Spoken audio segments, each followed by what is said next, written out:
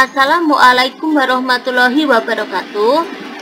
Anak-anak, kita berjumpa kembali dalam pembelajaran daring kimia lintas minat. Semoga kalian semua tetap dalam keadaan yang sehat dan terus semangat dalam belajar kimia. Pada pertemuan kali ini, kita akan membahas mengenai kimia karbon yang merupakan bab pertama Kimia semester genap kelas 12. Simak penjelasan yang akan Ibu sampaikan baik-baik ya.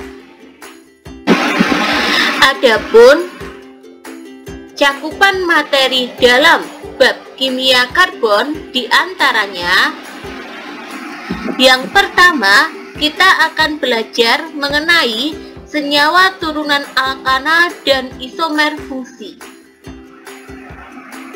Kemudian kita juga akan belajar mengenai alkohol dan ether, aldehid dan keton, asam karboksilat dan ester, serta identifikasi gugus fungsi. Khusus untuk hari ini, kita hanya akan belajar mengenai senyawa turunan alkana dan isomer fungsi. Pertama, mari kita pelajari senyawa turunan alkana. Senyawa turunan alkana yang pertama adalah alkohol. Rumus umum dari alkohol adalah ROH, di mana R merupakan rantai karbon dan OH merupakan gugus hidroksil. Contoh dari senyawa alkohol adalah CH3, CH, CH3, CHOH. CH3, CH, CH3, CH merupakan rantai karbon sedangkan OH di sini adalah gugus hidroksi. Senyawa turunan alkana yang kedua adalah ether atau alkoksi alkana. Rumus umum dari ether adalah ROR, di mana R merupakan rantai karbon. Dapat dilihat di sini bahwa ether itu tersusun dari atom O yang berada di tengah-tengah rantai karbon. Jadi, kiri dan kanan dari atom O sendiri adalah suatu rantai karbon. Sedangkan, sebenarnya gugus yang merupakan gabungan dari unsur O dan rantai karbon itu disebut sebagai gugus alkoksi. Contoh dari senyawa ether adalah seperti ini ya. Nah, ini O-nya terletak di tengah-tengah, sedangkan kanan dan kiri O berupa rantai karbon. Senyawa turunan alkana yang ketiga adalah aldehid atau alkanal. Struktur lengkap dari senyawa aldehid adalah R, C rangkap 2O, H. Struktur lengkap ini dapat pula ditulis dalam struktur termampatkan berupa R, C, H, O. Jadi C rangkap 2 OH itu bisa ditulis juga dengan CHO. Di mana C rangkap 2O itu disebut sebagai gugus karbonil. Contoh dari senyawa aldehid adalah sebagai berikut. Nah, ini jika ditulis struktur lengkapnya dan ini jika ditulis struktur termampatkannya. Jadi dia terdiri dari rantai karbon, gugus karbonil, dan H. Senyawa alkana yang keempat adalah keton atau alkanon. Rumus umum dari keton adalah R C rangkap 2O R. Jadi, suatu senyawa keton terdiri dari gugus karbonil yang kiri dan kanannya merupakan rantai karbon. Contohnya seperti ini ya, gugus karbonil atau C rangkap 2O, kiri kanannya berupa rantai karbon. Senyawa turunan alkana berikutnya adalah asam karboksilat atau asam alkanoat. Struktur lengkap dari asam karboksilat dapat dituliskan sebagai berikut. R C rangkap 2O OH jadi suatu senyawa asam karboksilat terdiri dari rantai karbon, gugus karbonil, dan gugus hidroksil atau OH. Struktur lengkap ini dapat pula ditulis dalam struktur termampatkan dalam bentuk RCOOH.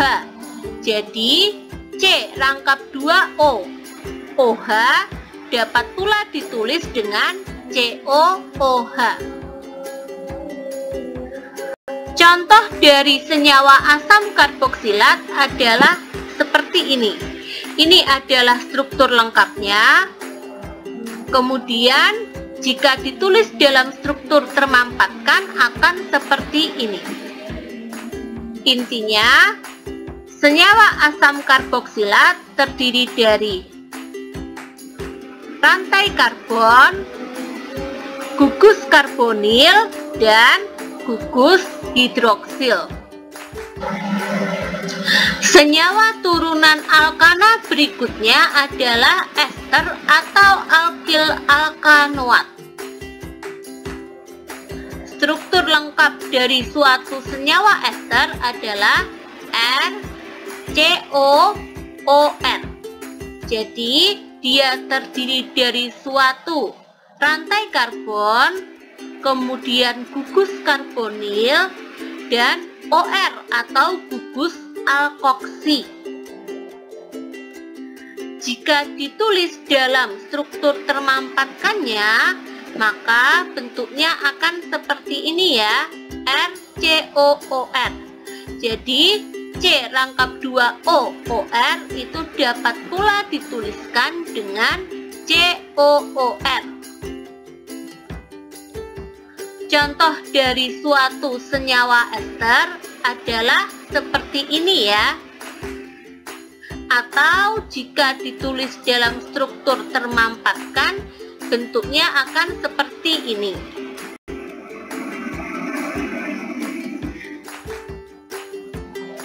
Jadi dia terdiri dari rantai karbon, gugus karbonil atau C rangkap 2O, dan gugus alkoksi atau gabungan dari O dan rantai karbon. Berikutnya, kita akan membahas mengenai isomer fungsi. Isomer fungsi merupakan dua buah senyawa yang memiliki rumus molekul sama tetapi gugus fungsi berbeda.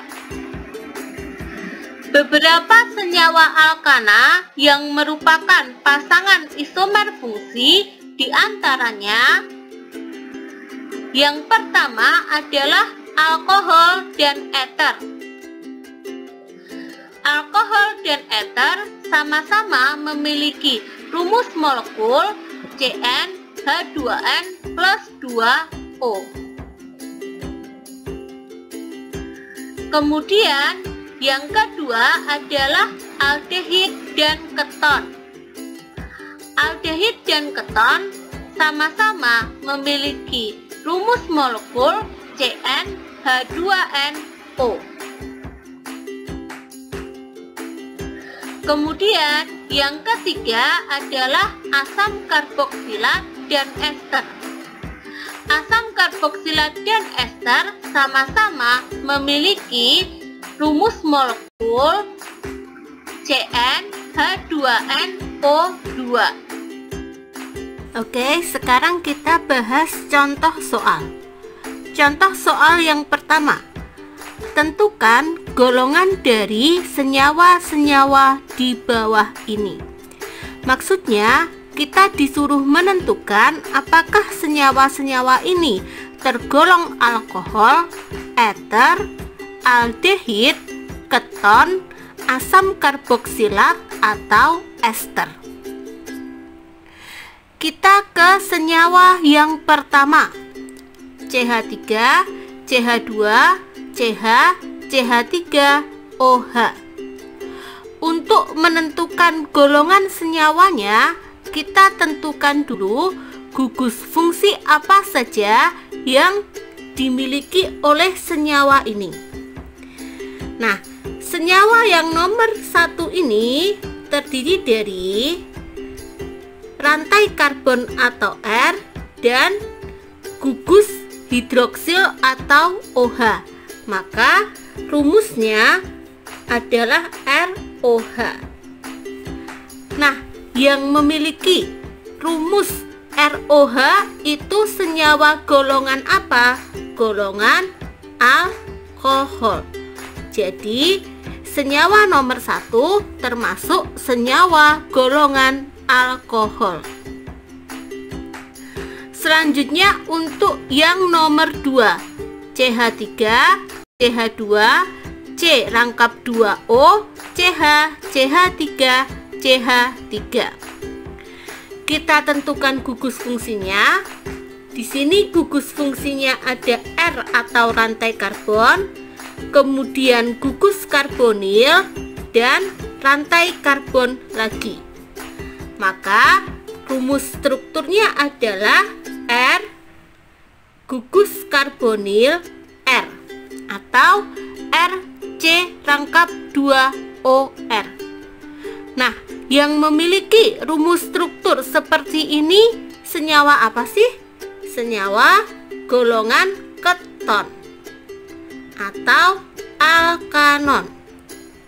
Jadi, senyawa ini merupakan senyawa alkanon. Selanjutnya yang nomor tiga seperti biasa, kita tentukan dulu gugus-gugus fungsinya. Pada senyawa nomor 3, di sini ada rantai karbon, gugus karbonil, O, dan rantai karbon lagi. Maka, jika ditulis, rumus strukturnya adalah R C rangkap 2O kemudian O lagi dan R atau RCOOR. RCOOR merupakan rumus struktur dari ester. Maka senyawa yang ketiga ini termasuk senyawa ester. Yang terakhir nomor 4. Senyawa nomor 4 di sini mengandung gugus fungsi rantai karbon, kemudian atom O dan rantai karbon lagi ROR. Yang memiliki rumus struktur ROR adalah ether. Seperti ini ya caranya. Oke, contoh berikutnya. Di antara senyawa-senyawa di bawah ini yang merupakan isomer fungsi dari CH3, CH2, CH2OH adalah Nah, untuk mencari isomer fungsi dari senyawa yang ada di soal, hal pertama yang harus kita lakukan adalah menentukan golongan dari senyawa di soal. Senyawa di soal terdiri dari gugus fungsi senya rantai karbon atau R dan gugus fungsi hidroksil. Maka rumus strukturnya adalah ROH. ROH merupakan rumus struktur dari senyawa alkohol. Jadi, senyawa di soal tergolong sebagai senyawa alkohol. Nah, kemudian senyawa golongan apakah yang berisomer fungsi dengan senyawa golongan alkohol? Yang berisomer fungsi dengan senyawa golongan alkohol adalah senyawa golongan eter atau ROR. Maka di antara pilihan A sampai dengan E kita tentukan mana yang termasuk senyawa golongan eter. Di sini yang termasuk senyawa golongan eter adalah A dan C ya Ether itu rumus strukturnya R O R. Jadi jawabannya yang mana? Yang A atau yang C? Nah, kita samakan jumlah atom C yang dimiliki senyawa yang ada di soal dan pilihan jawabannya. Senyawa yang ada di soal memiliki tiga buah atom C. Maka senyawa yang berisomer dengannya juga harus memiliki tiga buah atom C. Untuk pilihan A di sini senyawa eternya mengandung tiga atom C. Sedangkan pilihan C senyawa eternya hanya memiliki dua buah atom C. Jadi, jawaban yang tepat adalah yang A. Seperti itu ya. Nah, anak-anak, sekian pembelajaran daring kimia lintas minat hari ini. Semoga apa yang Ibu sampaikan bermanfaat. Terima kasih atas perhatiannya. Wassalamualaikum warahmatullahi wabarakatuh.